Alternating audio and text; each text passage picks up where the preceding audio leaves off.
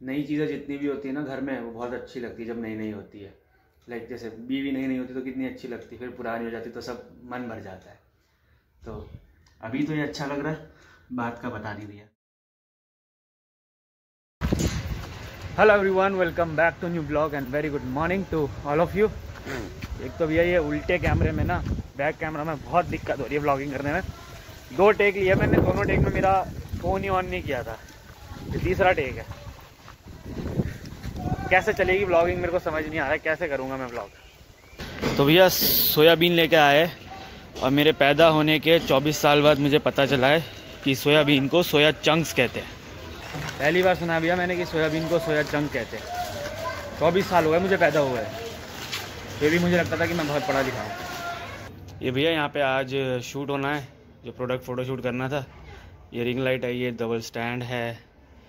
इसमें प्रोडक्ट है जिसका शूट करना है। ये वाइट पेपर इसको हम कवर करेंगे टेबल को और शूट करेंगे। देखते हैं कैसा रिज़ल्ट आता है। आज हम प्रोडक्शन हाउस खोल रहे हैं अपने घर के अंदर। In house production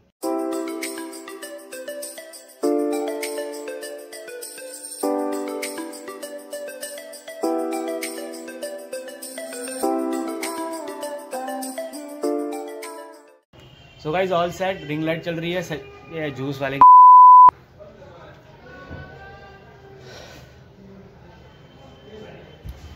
so guys all set ring light अच्छे से काम कर रही है मुझे लग रहा था काफ़ी टाइम से यूज़ नहीं करी तो लोचा वोचा ना हो जाए, लेकिन सही काम कर रही है। अपना माल भी है, पैसा लगाए दूसरी बात, बाहर बहुत ज़्यादा लाइट है तो शूट करना पॉसिबल नहीं है। बहुत ज़्यादा धूप आ रही है।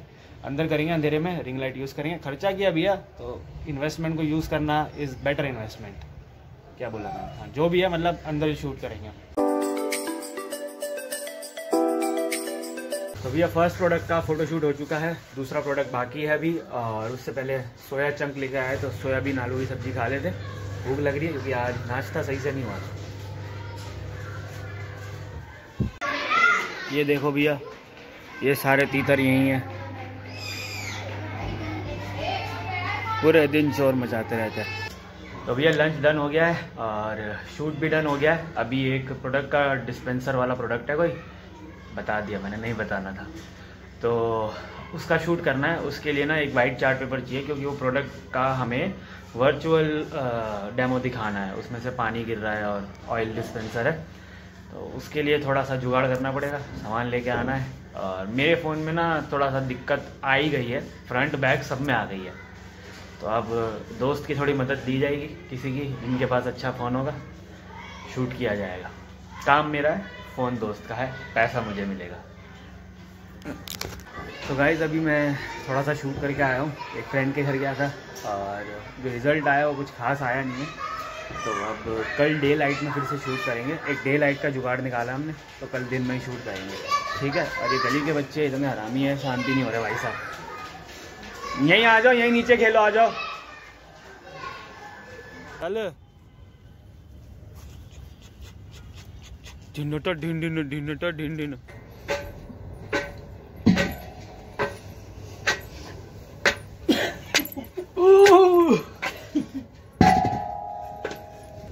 पूरा भरा हुआ ये तो। आजकल भैया स्ट्रीट फ़ूड थोड़ा कम चल रहा है और अंगूर ज़्यादा चल रहे और हमारे घर में एक ये नया इन्वेस्टमेंट हुआ है। ये घोसला का घोसला ये जो भी है मतलब काफ़ी अच्छी वाइब्स दे रहा है। ये वो बड़े भैया लगा के गए। लग तो अच्छा रहा है। अब पता नहीं है कब तक यहाँ पे टिका रहेगा। नई चीज़ें जितनी भी होती है ना घर में वो बहुत अच्छी लगती है जब नई नई होती है। लाइक जैसे बीवी नई नहीं होती तो कितनी अच्छी लगती फिर पुरानी हो जाती तो सब मन भर जाता है। Sorry sorry sorry sorry sorry तो अभी तो ये अच्छा लग रहा है। बात का बता नहीं दिया इसमें रोज़ हर पाँच छः दिन में पानी डालने को बोला है। तो ये बढ़ेगा। तो शायद अच्छा एटमोसफेयर अच्छा लुक आए। पता नहीं अब इस दीवार पे कब सिल्वर प्ले बटन आएगा। ऐसे चुटकी करूँ और सिल्वर प्ले बटन आ जाए ना, मज़ा सा ही आ जाए मतलब।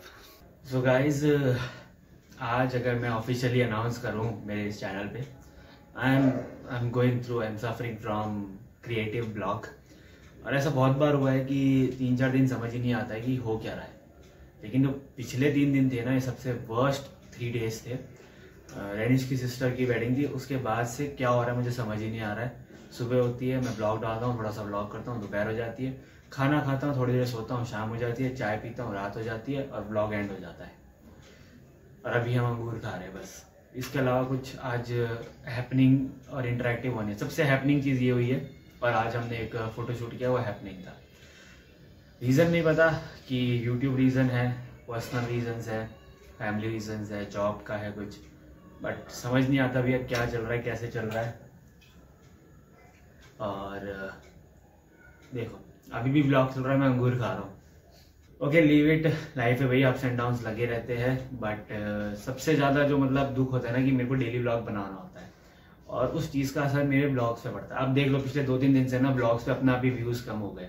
रीज़न ये नहीं है कि मैं ब्लॉग बेकार डाल रहा हूँ या अच्छे नहीं बन रहे। वो मेरे काम में दिख रहा है, क्योंकि मैं अंदर से, दिल से ना वो ब्लॉग नहीं बना पा रहा हूँ, जो रोज़ बनाता था।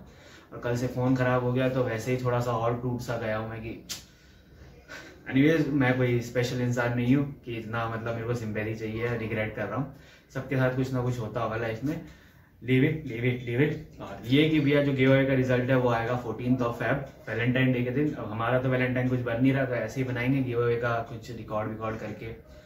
खा लेंगे दोस्तों के साथ ही कुछ चाय, नाश्ता, पानी बर्गर किंग बर्गर किंग नहीं गए, बहुत दिन हो गए। बर्गर किंग नहीं गए के नहीं गए ब्राउन मुंडे नहीं गए। अभी थोड़ा सा स्ट्रीट फ़ूड अवॉइड किया हुआ है हमने। पैसे नहीं यार।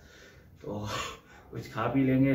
दैट सेट सॉरी अगर इस ब्लॉग से आपने ज़्यादा उम्मीदें लगाई थी और मैंने आपके कुछ मिनट ज़िंदगी के ले लिए हो, एक दो दिन में वापस लौटा दूँगा अच्छा सा ब्लॉग बना के ठीक है? थैंक यू सो मच मिलते हैं आपसे नेक्स्ट ब्लॉग में. Till then tata bye bye